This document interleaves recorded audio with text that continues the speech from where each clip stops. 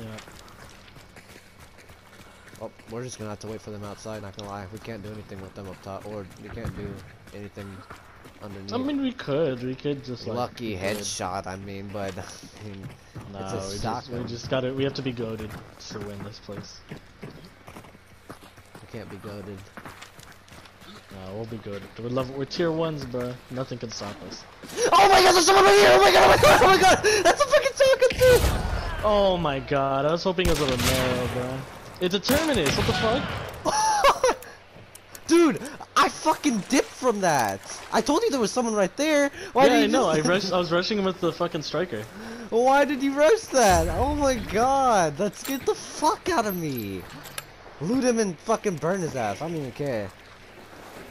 So